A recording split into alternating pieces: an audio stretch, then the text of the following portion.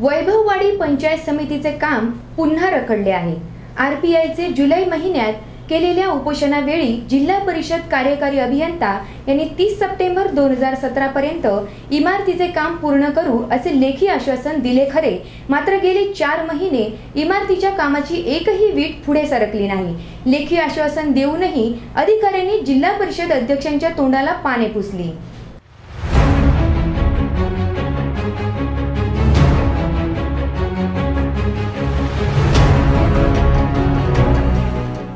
वैभववाडी तालुका पंचायत समिती इमारतीकरता आघाडी सरकारच्या काळात दोन कोटी बावन्न लाखांचा निधी मंजूर झाला.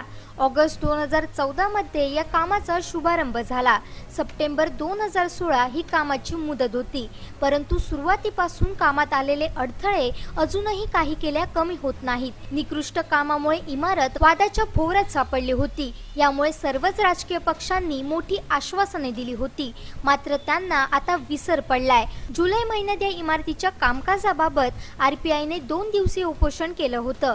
यावेळी जिल्हा परिषदेचे कार्यकारी अभियंता यांनी तीस सप्टेंबरपर्यंत काम पूर्ण करून घेऊ असे जिल्हा परिषद अध्यक्षा रेश्मा सावंत यांना लेखी आश्वासन दिलं होतं. या लेखी आश्वासनावर आरपीआयने उपोषण सोडलं होतं.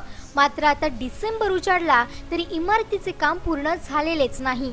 वैशिष्ट्य म्हणजे गेले चार महिने इमारतीचे काम बंदच आहे. जिल्हा परिषद अध्यक्षा व कार्यकारी त्यांनी दिलेलं लेखी आश्वासन हवेतच विरलंय त्याचबरोबर शिवसेना आमदार वैभव नाईक यांनी तर विधानसभेत आवाज उठवू असं सांगितलं होतं. वैभववाडी पंचायत समिती सदस्य अ, मंगेश टोके यांनी तक्रार केली होती की या पंचायत समितीची इमारत अत्यंत जे काम चालू आहे ते अत्यंत निकृष्ट चालू आहे. आणि स्वतः मी या ठिकाणी पाणी गेले अत्यंत निकृष्ट काम आहे. पहिल्याच पावसात या ठिकाणी संपूर्णपणे या इमारतीला गळती होते. आणि अनेक ठिकाणी कामामध्ये सुद्धा दोष आहेत.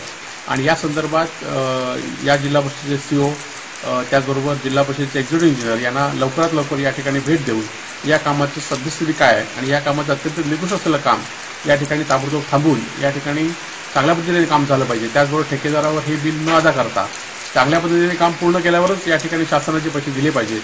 शासनाच्या पैशाचा दुरुपयोग जर कोण निश्चित करत असेल तर त्या ठिकाणी विधानसभेत सुद्धा या या ठिकाणी आवाज उठवून यांचे वेळप्रसंगी यांना जेलमध्ये टाकण्याचा सुद्धा या ठिकाणी शिवसेनेच्या माध्यमातून आणि आमदार म्हणून या ठिकाणी मी प्रयत्न करणार आहोत. त्याचबरोबर ग्रामविकास म्हणून दादा भुसेंकडे सुद्धा या संदर्भात तक्रार करून लवकरात लवकर चांगलं काम कसं होईल यासाठी आम्ही निश्चित पाठपुरावा करू. जी पंचायत समितीची इमारत आहे ती चांगली पद्धतीने झाली पाहिजे. शासनाच्या पैशाचा उपयोग चांगल्या पद्धतीने झाला पाहिजे यासाठी आम्ही प्रयत्न करणार आहोत. प्रमोद जठारांनी या इमारतीचं स्ट्रक्चरल ऑडिट करू असं म्हटलं होतं.